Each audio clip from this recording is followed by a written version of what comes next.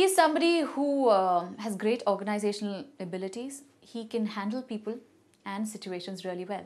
Uh, even if the sky is falling on your heads, you know, he knows how exactly to handle the situation. He always has an alternative plan, something that um, he wanted to work out in a certain way or, or something that he wanted to do in a certain way. If that is not possible, then he immediately has a backup plan, which, you know, is great. He's also very open to suggestions. He's also he gives you enough space. And meanwhile, whenever you, whenever you want guidance and you say, you know, sir, how do I do this? Because I don't know. He will show it to you and do it because he's he's a very good actor himself. Very planned, very meticulous. Keeps a very uh, nice atmosphere on, on, on the sets. Knows the uh, the medium very well. Um, and then we had Sejal, our DOP, who is uh, a great help to uh, to Vipul because um, he's really fast and he's brilliant with his job.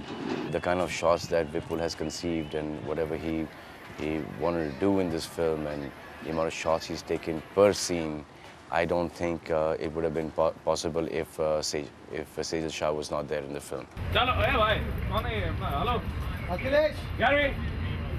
Taking, sir. Thank you.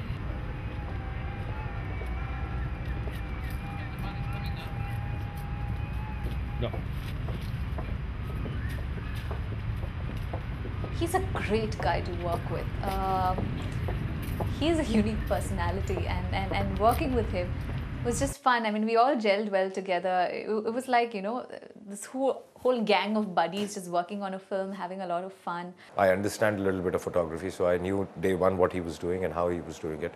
And uh, I told him on day one that uh, I, th I, I, think you're doing great, and, uh, and that's what that's what what is showing today. The way he's captured London, uh, it looks like it easily looks like one of the biggest films uh, made uh, in the recent times. He loves Vipul, and Vipul loves him back, and together they're awesome. And he hates inefficient people He cannot stand inefficiency. He says, "अगर नहीं करना तो हट जाओ मैं खुद कर लूँगा." I think after this film, it will be very difficult for me to get his time because uh, he's going to be so busy with big films that will come his way. I think uh, he, he's going to be a big revelation to the world, to the Indian cinema uh, at least. So I think uh, all in all, I had a great team working with me. Suresh Nair and Ritesh Shah, they've written Namaste London and Sing is King with me. Um, they have proved themselves as a team. We worked out very well. Uh, Amitabh Shukla, the editor, I feel um, has been instrumental in uh, in making a lot of scenes that were shot absolutely uh, rubbish into uh, you know into something which is very very visually very very appealing. Uh, for example, um, there is a sequence uh, where uh, at the airport in the security, um, Salman's clothes had to be taken off by the security people, and I had some half an hour left in my day, and and um, the airport authorities were standing on my head, and I had to just wrap the shooting in half an hour, and it was a good one and a half minute sequence with lots of cuts and all. So I just went ahead and shot something without realizing that it is good, bad, whatever. And I was always sure that I'll have to reshoot. But the way Amitabh has edited that sequence, it's become one of the most hilarious sequence in the film. So I have a very strong team. I had great choreographers. I had Remo choreographing my concerts. I couldn't have asked for anybody better than that. The concerts had to look, you know, the, the dream in our, our vision was that we want to have a concert which is going to be 90,000 people. And uh, we had a huge VFX team working on it. But to imagine that how that stadium is going to look with those 90,000 people and imagine that and capture it, capture every shot keeping that in mind. And then while everything comes together, it looks awesome. I think that was the biggest challenge for Re- Remo.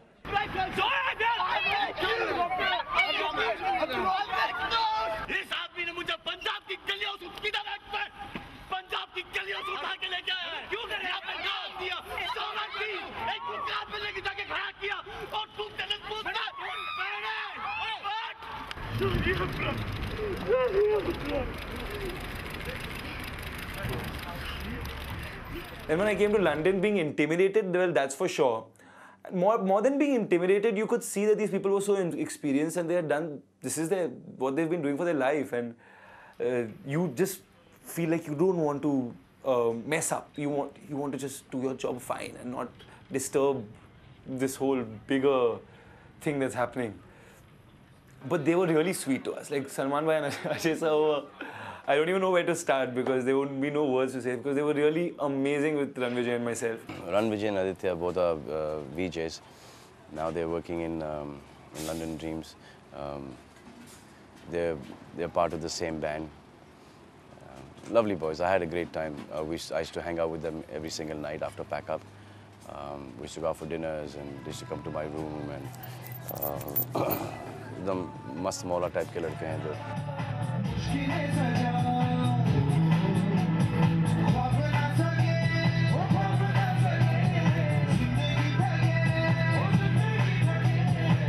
Uh, I was told that Salman is, you know, moody and he comes late, and Ajay uh, works only for 10 hours, and after 10 hours he won't shoot for you. He won't shoot on Sundays.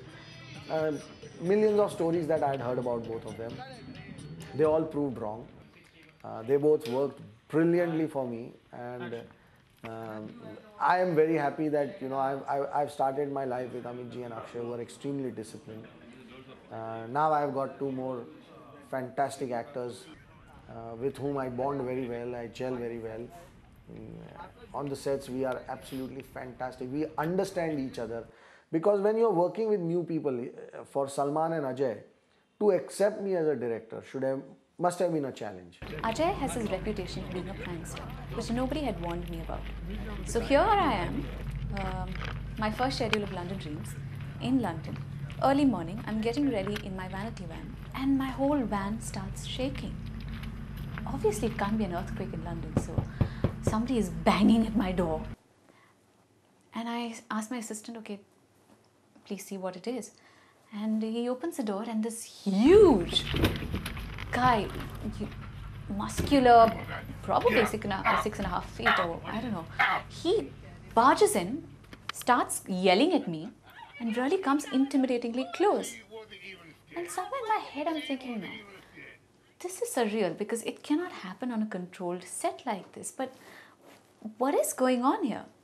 So he is going on yelling and shouting, and so I'm thinking at least you know, saans lene ke liye he'll take a break, and then I will speak. So finally, all his dialogues are over, and I say, "Thank you so much for your entertainment, sir. Now, if you please step out, I can get ready for my shot." Brave, brave lady, you very, very brave lady. Yes, come to know about. Very brave lady. The guy jumped. the guy, for the lady, she was like, देख लिया तो खत्म हो गया ना जी Okay, done. Okay, done, done, done, sir. Okay.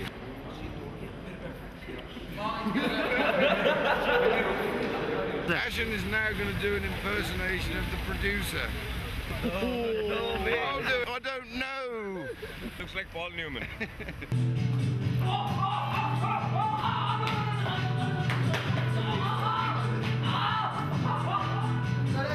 I think we all got along very well. I think we were there in London for something about more than nearly 45, 50 days. And uh, I think we all were very comfortable with each other. We did our own bit. We went out partying, we worked, we uh, didn't feel like working also f- some days. So it was fun. I had to put London Dreams into one sentence. It would be one of the most amazing uh, experiences of my life, and uh, I've learned so much. And London Dreams was absolutely a wonderful experience. I for sure can say that this has been the best working experience of my entire career. There was only one proviso in the entire making of London Dreams no glitches, no compromise. A zero error, 100% perfect film. to say that the intensity of the team, how high it was. Uh, when we were about to start the shooting, the world economy started crashing, or rather, crashed very badly, and Indian cinema started feeling the heat of it. And uh, we had two options A was to go ahead and make the film that we had set out to make, or B to accept certain pay cut, which was severe. Um, and me, Salman, Ajay, we all sat down, and it was a five minute decision. Both of them told me, Vipul, forget about the money. Just go ahead and make the film that we all agreed to make. I think it was fantastic, and uh, and now I just hope that the audience also thinks it's fantastic. So I'm keeping my fingers crossed and I'm praying that you all love the film and it does not disappoint you as many films this year have. And this one pleases you, gives you the satisfaction that you invested your three hours into my film. Um, and those three hours are, are satisfying enough for you to go back and feel happy. Loves Dupanta? नहीं यार यहाँ पे लड़कियाँ आती transit बच्चे भी transit में आते होंगे।